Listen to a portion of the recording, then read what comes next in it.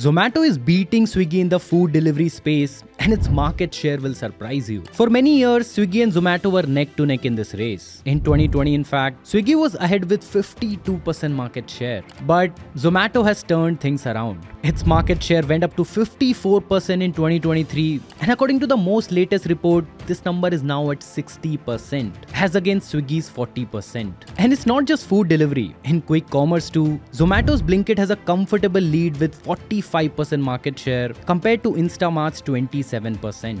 Even in Bangalore, which is Swiggy's home turf, Blinkit has overtaken Instamart. So, why is this happening? Firstly, it's because of Zomato's presence in more number of cities, more than 800 compared to Swiggy's 580. Secondly, it's because of Zomato's strategy of focusing on food delivery and quick commerce as two different businesses, compared to Swiggy where both have a common app. Let me know your thoughts on this. Have you switched from one of the apps to the other and why?